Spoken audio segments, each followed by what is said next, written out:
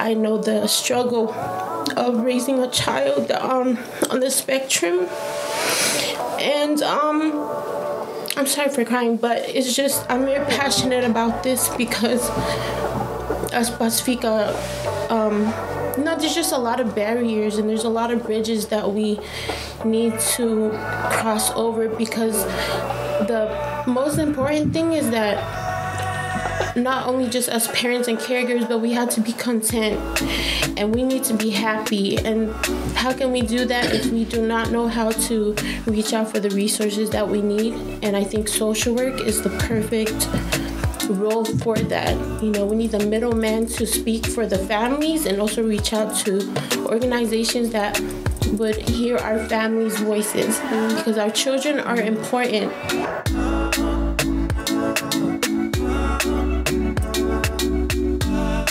This podcast is proudly supported by the Otara Network Action Committee, ONAC, community owned, community driven, and community led. No mai haere mai. Hoki mai anō ki, we are Otara. That is your voice from Otara going to the world, and that's all thanks to the amazing ONAC, the Otara Network um, organisation. My name's Judy Spate, and I'm here with the most amazing group of wahine toa that um, we've had around here for a while. I'm not that every woman that walks through the door is just incredible, but these guys have come to us as social workers in their first year at MIT studying at, um, social work, but also getting from their couple of weeks with us a bit of an idea, we hope, about what communities like. So this is the community experience. What I've asked the ladies to do this morning is just take us through a few sort of general conversation pieces about you know why they've come to be involved in, in social work, um, what they're hoping to achieve, what sort of experiences they had while they were here at, at We Otara, um, and possibly that whole where that's going to set them up to go for the future. So before we go there, we're going to say, ladies, please, can we ask you to introduce yourselves? I am Cook Island descent, and I am born and raised in Mangere East. Woohoo! Hi, I'm Sakia. Um, I'm Tongan and I'm from East Auckland, Panmure. Uh, yeah, malo lele. My name is Susan Faleafa. I come from Kolomotu'a Tongatapu and I was born in Aotearoa but raised in the U.S. And yeah. Hi, I'm Agnes. I am Samoan and I was brought up in Maiden. That was lovely, ladies. Thank you so much. And, and it's good to get a bit of a background. It's sad that Otara, Otara's greatest haven't managed to fling someone into your midst, but you know, we know that you've all come to know and love Otara a little bit mm. more after a couple of weeks here. One of the things that I was thinking could be a good way to start would be to talk to um, our audience here about the reason why you've chosen social work as your you know your great love as the reason why you're going to um, or your professional qualification. And I mean the thing is that that you know no one's 15 or 16 so it's important to maybe even wonder what what you've done until now. So maybe if we start Agnes with you now could you talk to us a little bit about why why you've chosen social work? Um, for me, I chosen social workers because of my past experiences and um, growing up as an islander, like we have a lot that we need to change and support that we need within our families. Mm. Yeah. Uh, Sorry, yeah, so I'm just like Agnes. There's multitudes of reasons why I want to do social work, and a lot of it has to do with my upbringing, growing up in poverty, low income household, um, growing up in a neighborhood where there is a lot of crime, violence, and just um, coming from a neighborhood that lacked a lot of resources for us youth to thrive and you know make something out of ourselves. And um, but my main reason for social work is because I am a proud autism mom. I have a beautiful eight-year-old boy who has um, who is on the spectrum. He's autistic and he's nonverbal, And um, just a little brief little backstory of why I chose social work as a career is because um, last year I went to a workshop for tilting the seesaw. And um, a lot of parents came with the teachers and the whole team that work with our autistic children. And I, from my observation, um, us Pasifika parents and Maori parents came to the ta- came to this workshop with not as much resources as the Pakeha parents that were there where their kids were thriving because they had a lot of tools, resources, and a lot of help because they can articulate and reach out for for help. Mm. But I noticed that with us Pasifika Islanders and Maori parents of disabled children because there's barriers. It could be from language or just not understanding the system that our children can access so many resources and tools. It made me sit back and reflect on what can I do to change to make sure that my people can also have their children thrive. Mm. Uh, just like the Pakehas. You know, I'm not trying to make it a race thing, but you know they're on game with how to access more things in, than people like me. So i went home i did my research and i found out that social work is what would make me be able to you know um, have a good career but also be able to help families like me because it's a struggle to get um, you know, just the resources and the tools for our children because it's a challenge and not everybody is um, able to to reach those resources due to it could be something like they're ashamed or they're embarrassed or they lack of and if i have you know someone like me who can be the voice and advocate for families and the caregivers who have children with disabilities then um, that will be fulfilling for me. It's rewarding for me because I know the struggle of raising a child um, on the spectrum.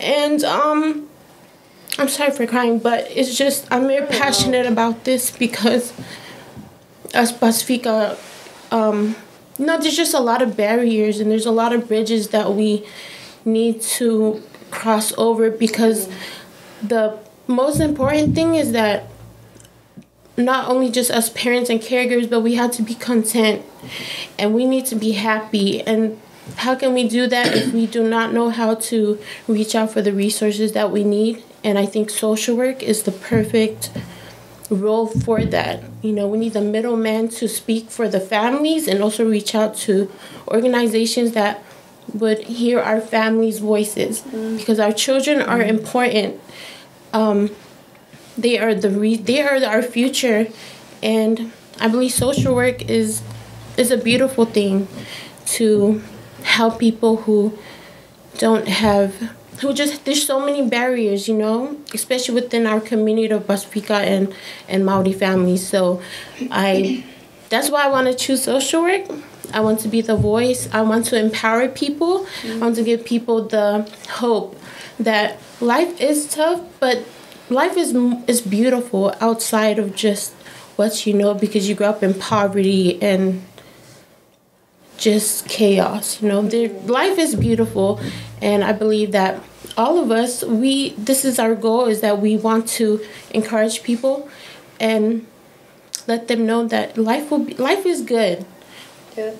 And that we can help you you know, provide the tools and resources so that you can find your strengths and turn it into skills so that way you'll be able to, you know, live a good life and be content and joyful with your family and yeah, so that's what I'm sorry, that's why I chose social work. It's really special. Wow. Yeah. yeah.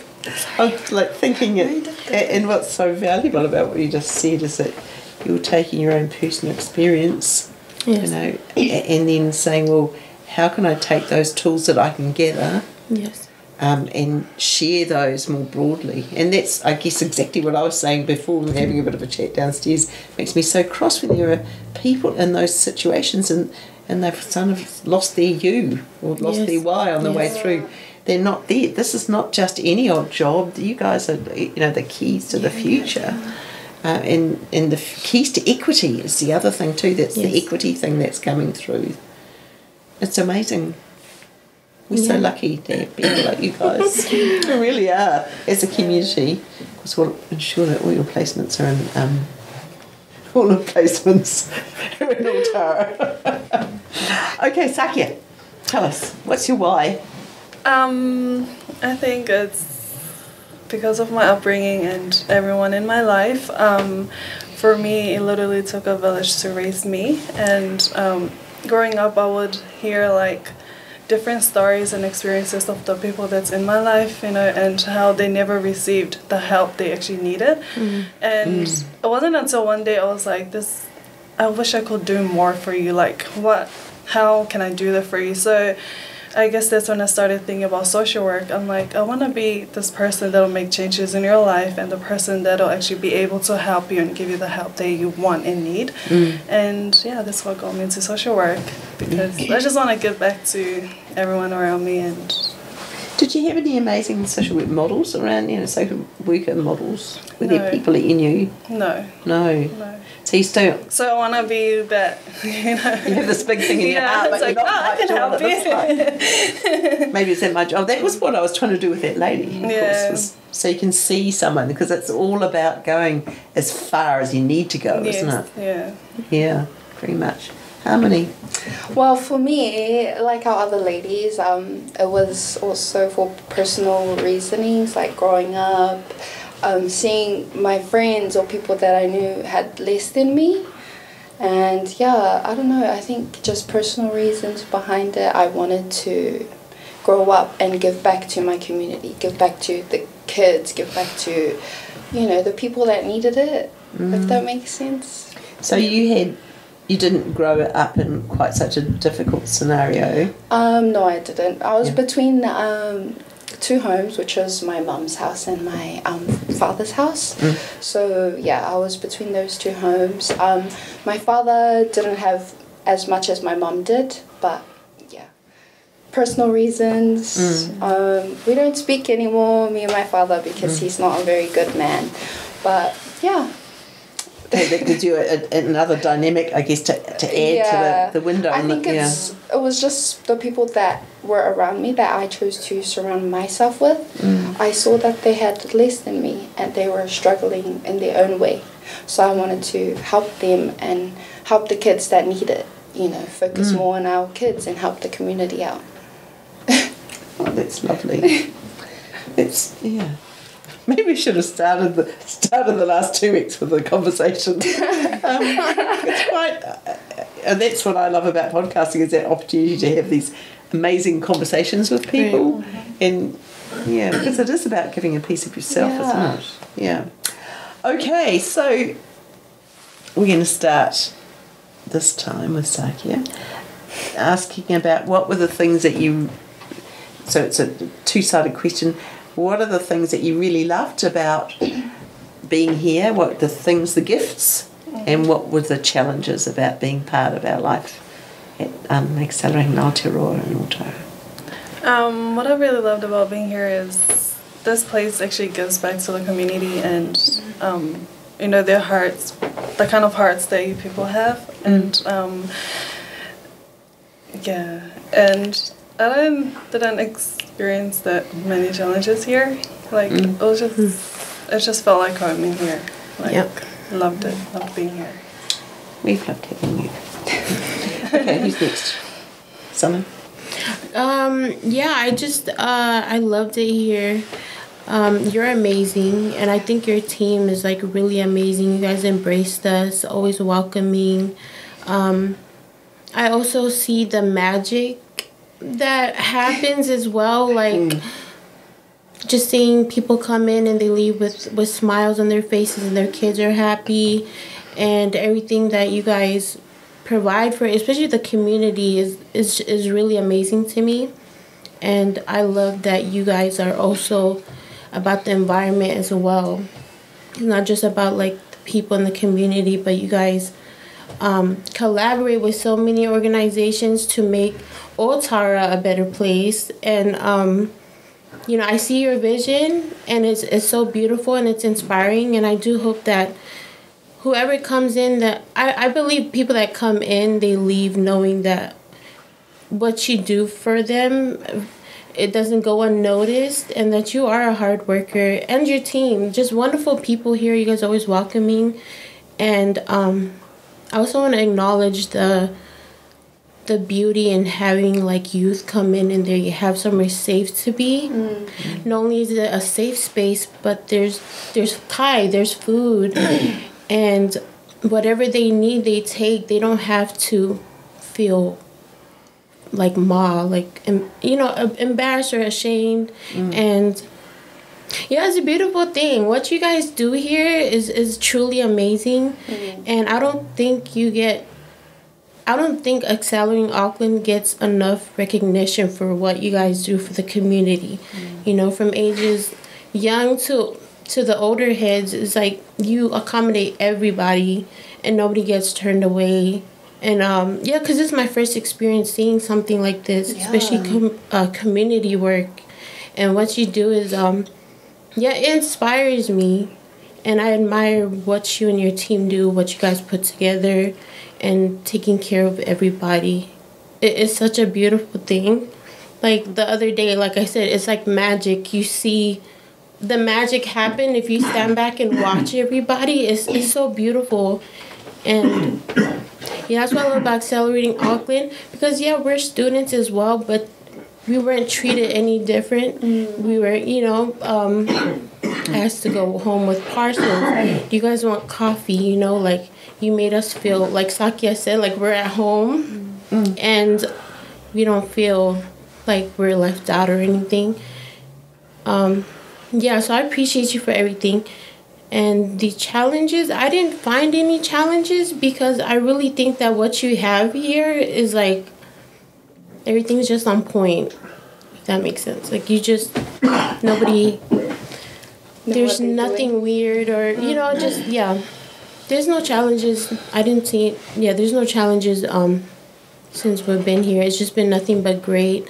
Warm, embracing, very welcoming yeah, just amazing. I can go on and on, but yeah, I I admire everything you do in this at this organization, and it's yeah, this infrastructure is amazing, and you really are amazing.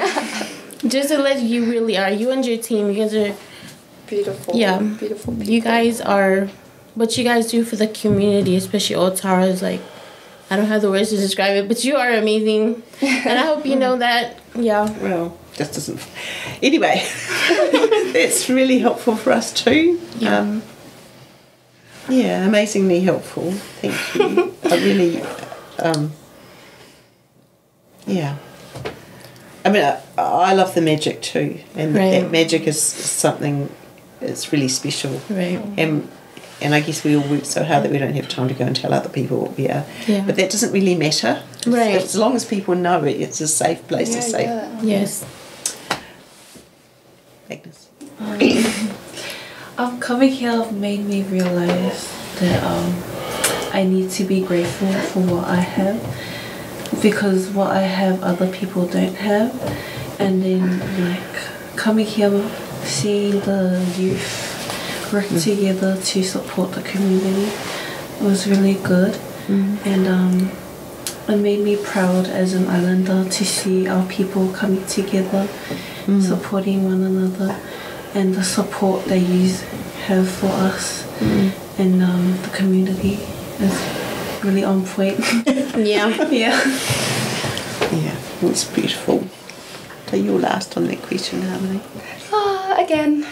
Mm. Um, no, I think you're so all amazing people. Your hearts, you can see it through your work that you are really mm. like um, wanting to help people and you want mm. our communities and you know the people that lack what they actually have you tend to their needs you know mm. so making those food parcels on the first day i was like oh my goodness this is amazing like you telling us what you have done and all your accomplishments i was so like yep. flabbergasted i was mm. like wow people actually go back to the communities you know i've heard the big organizations they don't really help mm. um, only on the news I've seen it, but yeah, like smaller organizations like Accelerating Aotearoa use actually give back to your community. I've I've already told my family about you, and they've so they're make so sure they shocked. swing by. Yeah, I was telling them I was like, oh my gosh, my placement is so amazing. All Mm. Their team, Judy, everyone there is so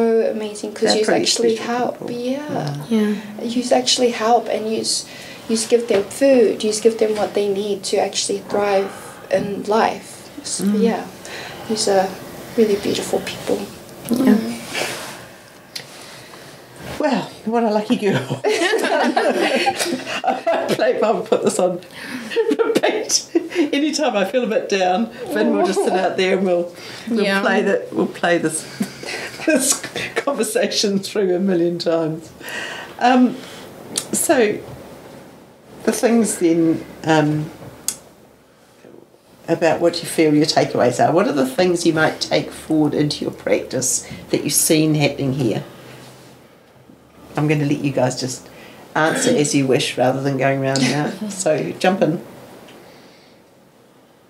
I guess if there's anything I'll take from here is to love, you know, mm. just love because you don't know and you just never know.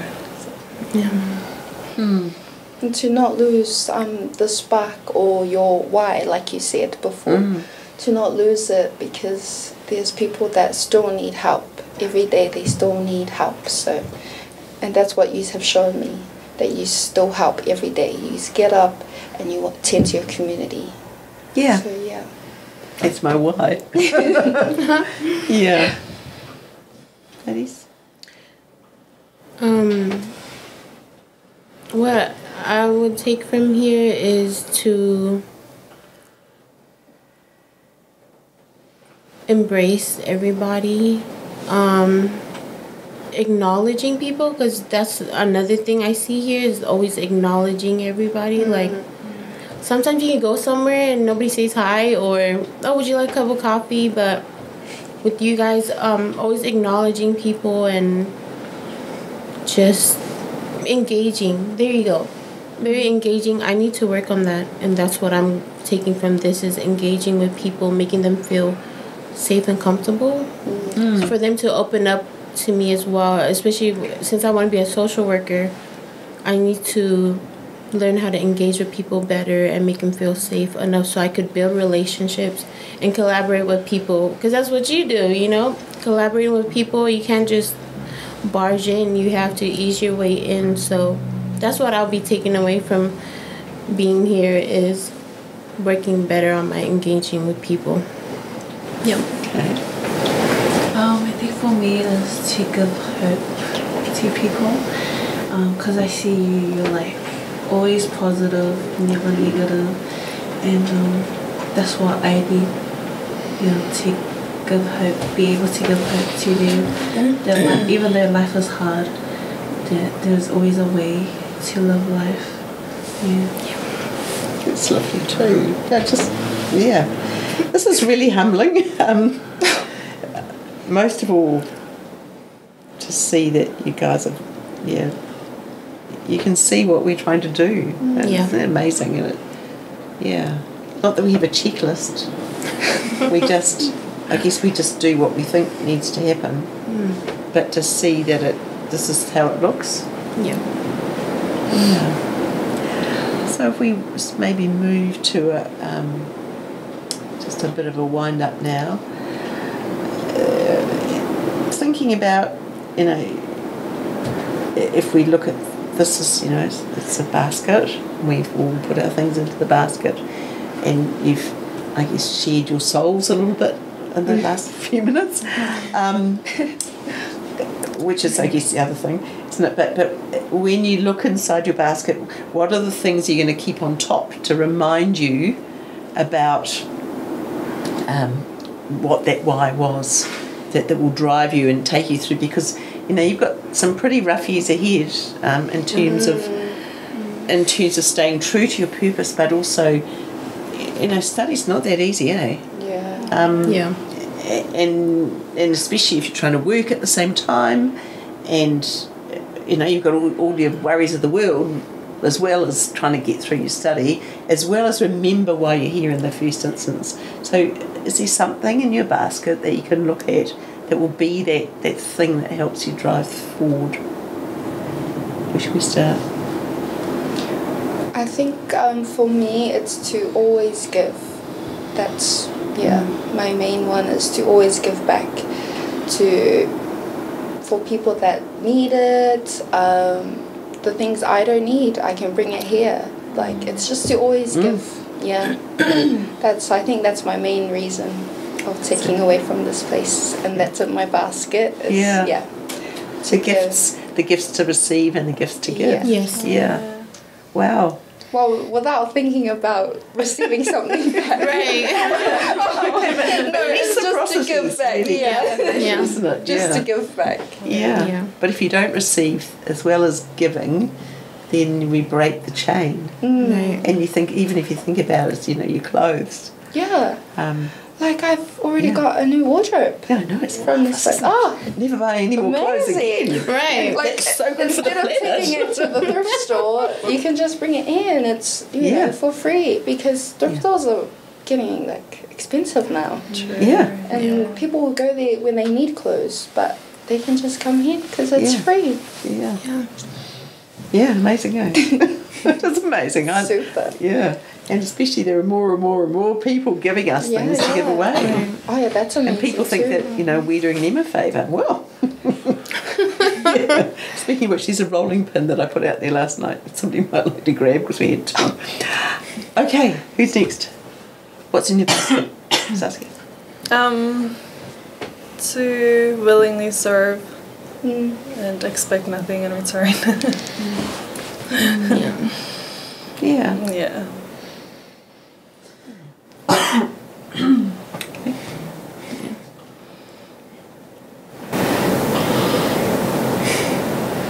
Cameras on your ears.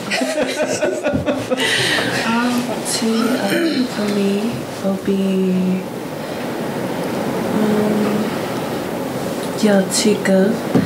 Like sometimes you're holding on to something you don't really need, and then that thing that you're holding on to can take you back to what you need to move on from. Yeah, so I think giving is something that we need to give to a community. Yeah. Whether it's love or, Yes. Yeah. Or a pair of jeans or some shoes. Or yeah. Yes. Yeah. Hmm. Um, in my basket, it will always be my son. He is my why. He's he is my why I'm in social work. He's the reason that I will walk that stage and be a social worker. Um, yeah, that's just he's my why. He's the reason why I better myself in my life so I can have a, a good career, help people, but at the same time um, be able to sustain a, a living for me and my son. So it's beneficial both ways. So that is my yeah, that's my why. I want to I'll keep you true. Yeah. keep me true to myself, and he's a constant reminder every day of why I'm going for my bachelor's. Yeah. So and also spreading autism awareness. That's I'm very big on that. Mm. My shirt says autism. Wear for my son. Yeah. So yeah, that's my why. My why is with me every day. So I know I'm gonna pull through. I'm not gonna change along the way because he's my he's my reason. He's my motivation. He inspires me. So yeah, that's my baby in my basket. Just as well. Yeah. it's going to get grow. yeah. yeah. That's wonderful. Thank Yeah. you. Thank you. So thank you for being part of, you know, bringing yourselves here. I don't know whose idea it was, um, but we love it and feel really. I mean, I, I personally feel really um, honoured to have had this conversation with you guys. But on the other side, you know, just know that you can always come back here. Yeah. You might be a bit peckish sometime. You don't even know where the secret supply of biscuits is, but I'll, I'll show you. we could ask you though. Um, so there's always room for you here. Uh, and Thank uh, whether you need help or you want to drop off some clothes or you need some food or you, you found someone that needs help in the elevator. Yeah. Um, once this whare becomes your home, it's forever your home.